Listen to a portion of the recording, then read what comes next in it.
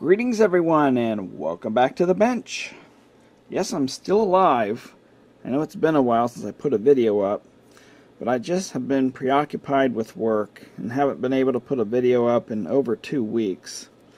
But I certainly have been working in the background. If you follow my channel, you know I was working on the JAT EZ amp and I had a problem with those monolithic output transistor, the monolithic Darlington output transistors. You know, they were blowing up during a test. Now my 501 amp, I didn't have any problems with the output stage blowing up during the tests. So I grafted the output stage of that amp onto the EZ amp. I really like the transistors I used. And now I'm going to use these whenever I get the boards made for the uh, 501 amp. And yes, you know, I commended to do that. I'm going to, you know, I said I'm going to do it, so I'm going to have boards made and make them available. You know, it's just, the thing with me is time. If I say I'm going to do something, I'll do it, but it's just time and dealing with work. So it'll eventually happen.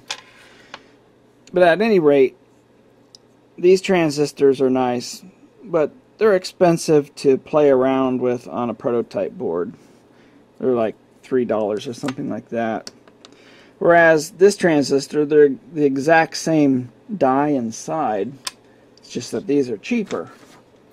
Well, the problem is, I wanted to use the cheaper transistor on my uh, EZ amp, because it's a lower power amp it doesn't dis dissipate as much heat. Of course this package is rated to dissipate a lot more heat than this package. The smaller package you can see the uh, thermal pad area is much larger. Well the thing is you know like I said I want to use the TO220 version on the EZ amp because it's a lot cheaper. So what do they do? You know, every time I find a nice component I like, sooner or later they're going to discontinue it. And that's what happened with the FJP 5200. They went and discontinued it. So now I want to find another cheap transistor that I can use with the EZ amp. I might look at the MJE 3055 and its uh, 2955 complement. Yeah, I'm not real fond of those transistors. Yeah, but they might work. But I still want to find a better transistor that's cheap. You know, it's under a dollar. I'm going to keep the price down on the EZ Amp project. You can see here, there's the uh, TO264 package, 2SC5200, which is this one here even comes in a TO3P type package. And looks like they give a different number for it. 5242. So in today's video, I just want to see a comparison between those monolithic Darlingtons and the uh, output circuit I'm using in the 501 amp, which I'm going to use in this circuit the uh, EZ amp. So it's a pretty basic circuit. Power supply comes in, goes through the uh, 4 ohm non-inductive load here, and the scope connects to the collector. Of course, there's the Darlington configuration using discrete transistors. And I'm going to put a 10 kilohertz square wave signal in using this um, microcontroller able to get nice fast rising and falling edges for testing with this at about 200 volts per microsecond. It's the fastest thing I can come up with here on my bench. And this circuit here is just showing the monolithic Darlington transistor. The dotted line is just the transistor casing and this is all the components inside that. It's kind of like a simple integrated circuit. Okay, I have you pointed at the scope here. So we'll get a waveform going here. Turn on the microcontroller. Okay, so we'll do a comparison of, like I say, the monolithic Darlington versus the discrete components. But I also want to compare the two Darlingtons I was using, the BDW42 and the BDX33. And as far as the discrete components, I'll look at the uh, the BD139 driving the FJP 5200 and then a BD139 driving the MJE 3055. Just you want to see how those compare. Okay, so now we have the BDW. Okay, so as I adjust the signal here, right there at saturation, when it saturates, there's a little bit of ringing going on on the bottom here. But again, this is a 10 kilohertz signal, and you can see that it's not particularly fast. This microcontroller does source and sink, so it can remove charge from the base to you know, help speed up the, the circuit, but we're still seeing you know, pretty slow slew rate going on there. Know, that's one microsecond, one volt, one microsecond, so it's not a straight line, it's curving, but you know, somewhere at 1 volt per microsecond. So it's not really fast at all. Maybe a little faster on the falling edge. So I'll pause the camera here and pop in the other transistor and see what it looks like. Okay, so now I have the BDX33 connected yeah, looks pretty much the same, really.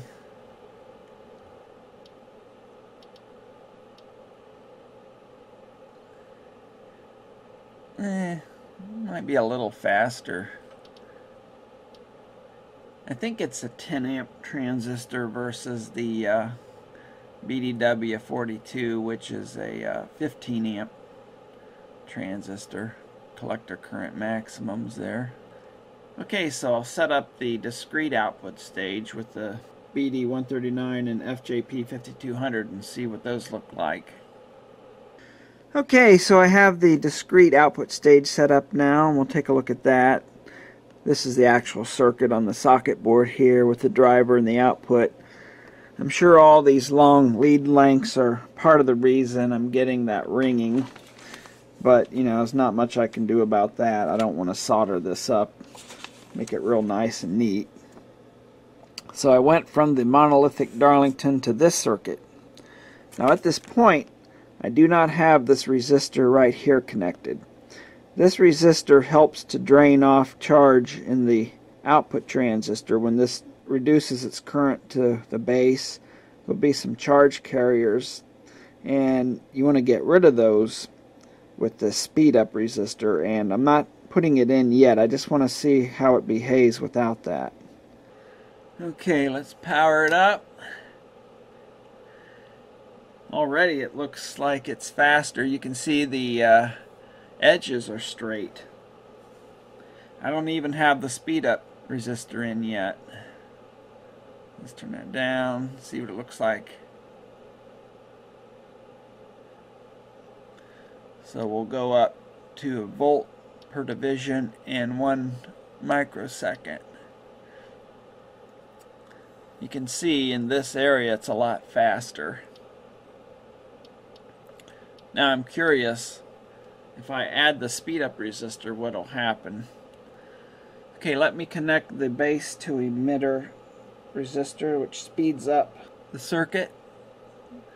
The idea anyway. Well, if I can get this plugged in here You can see it peaking up a little bit. Let's uh, crank this up. Yeah, it does help a little bit.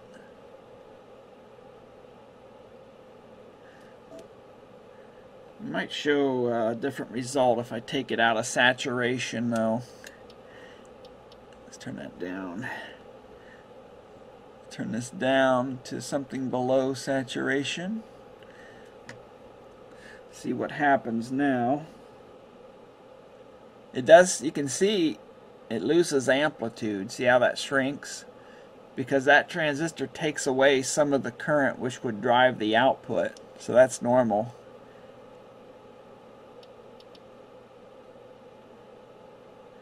Yeah, it does peak it up a little bit, speeding it up ever so slightly.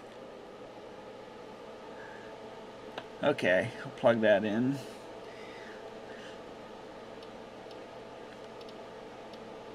Well, it is performing a lot better than those Darlingtons. Those monolithic Darlingtons are a lot slower. Even though those Darlingtons have built-in speed up resistors here. Okay, so I replaced the FJP5200 with the MJE3055. See what those look like. And yeah, they're uh, there's a slope to that line. It's just they're just not that fast of transistor. I wonder how the speed up capacitor or the speed up resistor helps. Oh yeah, big time. That's a turnoff right there. See how that really helps? See, this is the transistor turning off because when it's on, it's pulling the collector down towards ground and when that transistor goes off it's coming up to the supply rail and you can see that curve it's, when I add the 220 ohm resistor it sharpens up that curve it's helping that transistor to turn off by getting rid of those charge carriers in the base you know yeah it's cheap but I don't like that transistor I don't like those 3055s they're just they're just not gonna work good enough But on the other hand, they might be a little faster than those Darlingtons still. So, you know, they might be okay. Again, this is a cheap amplifier. As long as I get the performance, if I can get the power output and distortion performance I want, you know, it might be worth trying these transistors. But compared to the FJP 5200, those are meant to be audio transistors. They're very good. That's why they just kick the crap out of these other transistors. I'll have to stop claiming that the videos for the project will be only a certain amount because never know when you run into these problems. Right, Snickers? It's Snickers' 14th birthday. Glad you're still around, Snick. I think he wants to sleep now, so I guess I'll let him be. Well, poking around a little bit on DigiKey, I found these transistors. They're available. They're cheap. They're TO220 case, 15 amps, more than enough, 80 volts, 83 watts. They are switching transistors, though. Well, they're meant for switching. Doesn't mean you have to use them that way. 50 megahertz, FT pretty low capacitance everything that'll work in our favor here nice flat gain characteristics you know, a lot of transistors will go up like this and fold down but these have a nice flat characteristics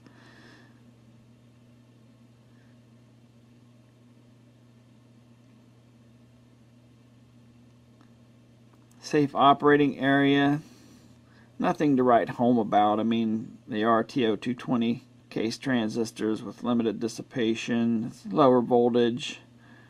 They're not like the 5200 that they're rated, I forget, like 250 volts, 15 amps. But again, our, our amplifier is not using these at their maximum capability. Should be okay. I'm not sure what's going on here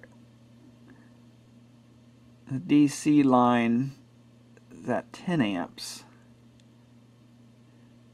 And that's more than enough for what we need, but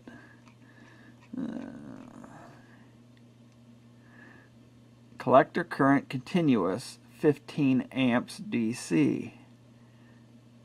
Peak 20 amps. So I'm not sure what's going on with that safe operating area line. some of these data sheets, you know, you just sometimes you have to read between the lines. Yeah, I might try these. These might work pretty nicely for uh, audio amplifier. Another problem with those MJE 3055s is uh, their maximum voltage is 60 volts. So we're working pretty close to their maximum. Where these give me some headroom. So I might buy these and try them out, but I still want to play around with those MJE 3055s and the Complement 2955. Heck, they might do the job. They might meet the distortion and the uh, other parameters I need for that project. I guess this is enough for this video. I'll wrap it up here. Pretty much found out that these Darlingtons are pretty slow and they blow up too easy under test. That doesn't give me a lot of confidence in them. Going back to a discrete type Darlington stage is much better. Just have to grab the right transistors at a reasonable price to keep the cost of the project down. Another problem with these Darlingtons I don't think I mentioned is they require more current in the previous stage, the voltage amplification stage, because these have a lot less gain than a discrete Darlington circuit would. In fact, I have to run the voltage amplification stage in the EZ amp at double the current I am with my 501 amplifier. So, you know, they require a lot of gain. And even doing so, when I do the 2 ohm test, my output voltage swing starts to collapse because of the load. So yeah, these transistors just don't cut it.